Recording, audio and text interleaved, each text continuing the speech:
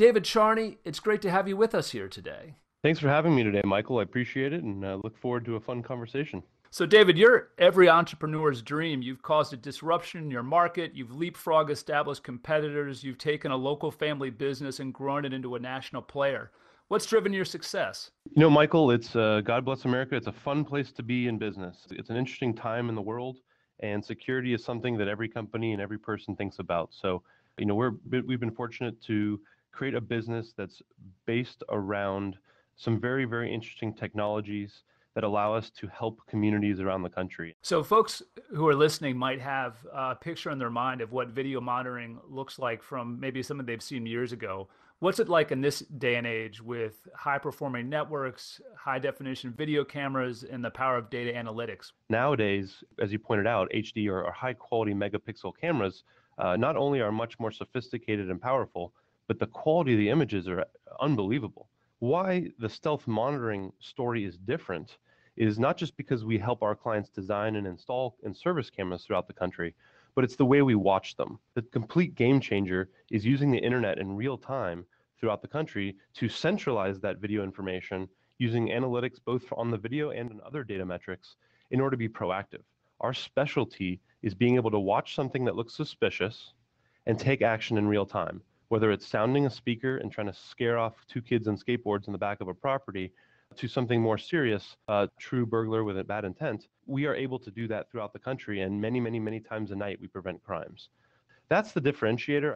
Backing down from the industry into your business, I heard you point to two factors that you say have been game changers for you. One is the power of the internet and the second is the power of data analytics.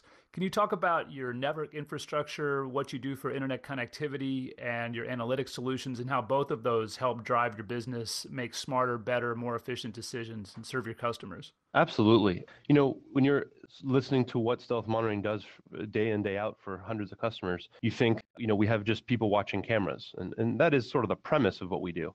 But you can't do it with the scale that we do it without having very, very sophisticated uh, algorithms, custom built databases that improve efficiency, analyst teams, developer teams, database teams, all optimizing our master formula and our secret sauce to do it oh, in a way that nobody else does. So, what does that entail?